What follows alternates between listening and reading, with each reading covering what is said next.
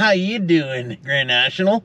Well, I'm just out down here at the Cantina. I took the old truck out for a drive today, and she's running pretty good. Welcome to Life with Bill Siff. I'm not sure what I'm going to do today. I'm just kind of out and about. Wanted to make sure the water pump wasn't leaking, and the water pump looks decent. But I got to stop by the old man's and see what he's doing, and then we'll kind of go from there. Let's take you a ride for the ride. Let's take you along for the ride.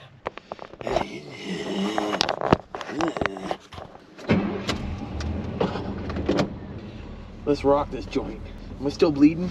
Frick. Nope, good. I check his bank account and see if he got it. What's really going on with the music, Jim? Lake Chipican, how you doing? I'll tell you one thing, Jim. She's cold and sunny today. That damn lake, north wind, freezes you out.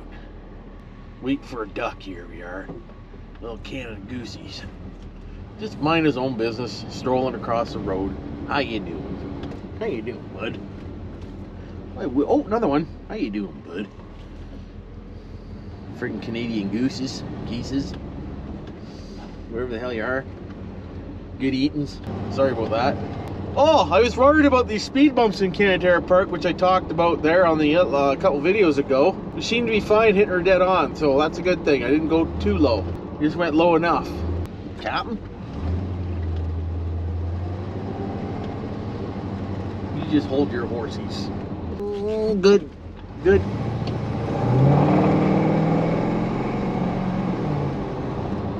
Good old fuel injection. Do you see that? Not too bad for a 305.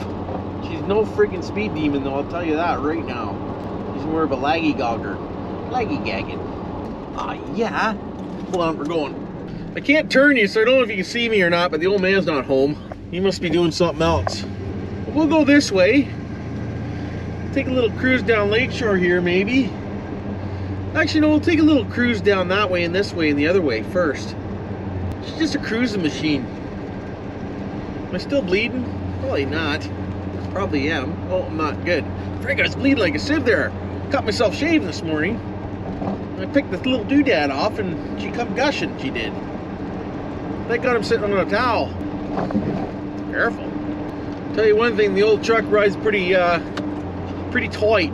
She does. Another thing I gotta do too, the rear end. Remember we did the rear end, I put, we did the leafs there? Well, when I put the U-bolts back on, I didn't pull them up tight against the rear end.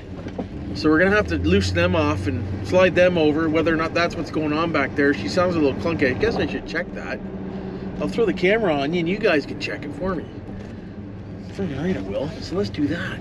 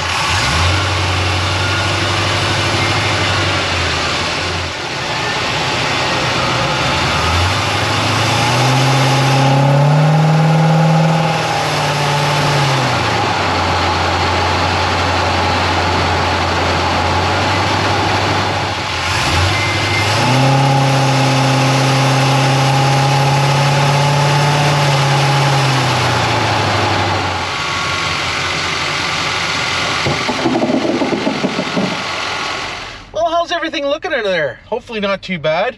I haven't seen the footage myself yet, so we'll have to see.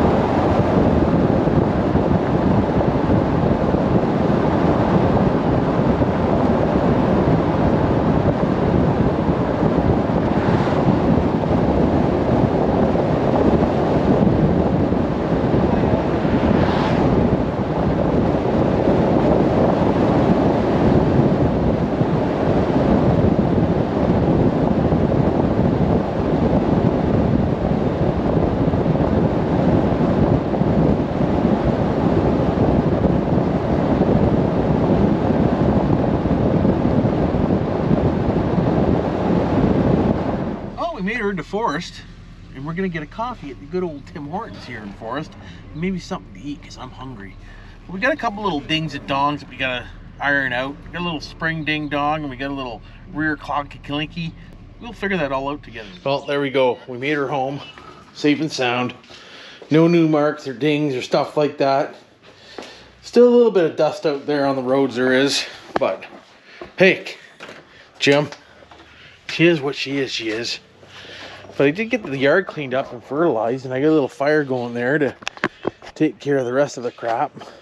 But I just want to take you along with me, show you that the truck runs good, show you a few angles of the dangles.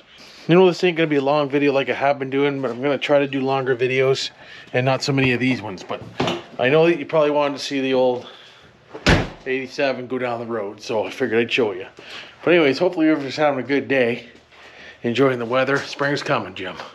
Until the next one, we'll see you later.